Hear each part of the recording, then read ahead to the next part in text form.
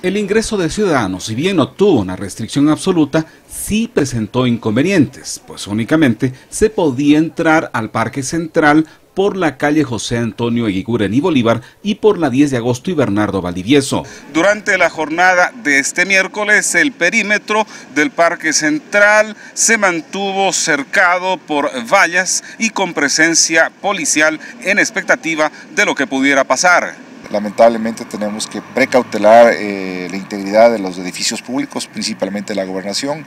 Entiendo que hoy hay una marcha del FUT que espero sea eh, tranquila, espero que no haya nuevamente los, infiltrados y eh, apenas tengamos la tranquilidad de que no vayan a haber actos vandálicos, se procederá a retirar las vallas. El gobernador Mario Mancino también anuncia que en las próximas horas se buscaría establecer un sistema para abastecer de productos a las comunidades del norte del Cantón Loja. En horas de la noche hablé con uno de los dirigentes eh, del paro indígena, eh, un poco en reciprocidad a esta actitud pacífica que tuvieron de, eh, si están ellos de acuerdo, generar un corredor humanitario, un corredor para poder abastecer a Saraguro de combustible, de gas, de, combustible y que ellos también puedan sacar sus productos que buena falta nos hacen los mercados. Mientras tanto, la ciudadanía se manifiesta en la expectativa de que finalmente los problemas se solucionen a nivel nacional. Se siente a conversar y si esos 10 puntos hay que aceptarles, que los acepte pues.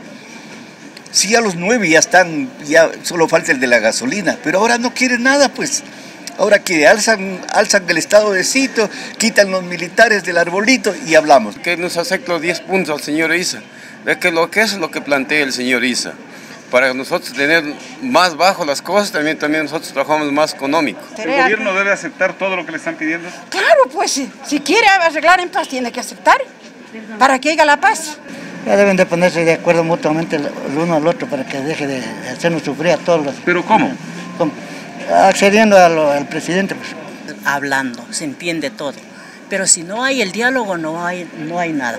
Ahora estos indígenas tampoco ellos están completamente aceptando el diálogo. Lo que quieren ellos es salir con la de ellos. Que hayan más muertes, que hayan más, más Entonces, ¿qué debe pasar? El diálogo.